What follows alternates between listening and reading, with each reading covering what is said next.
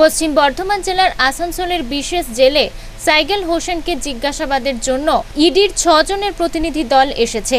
টানা চার ঘণ্টা সাইকেল হোসেনকে জেরা করার পর আসানসোলের সংশোধনাগার থেকে বের হলেন ইডির ছজন আধিকারিক।